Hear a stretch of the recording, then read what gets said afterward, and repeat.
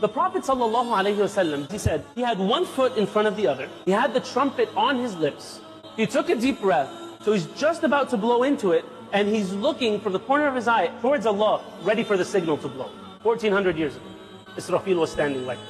When the Prophet ﷺ came down from this journey and was very active in salah and in acts of worship, and his wife was telling him to take it easy, he said, how can I take it easy when the angel in charge of the trumpet has his lips on the trumpet ready to blow? There's no time.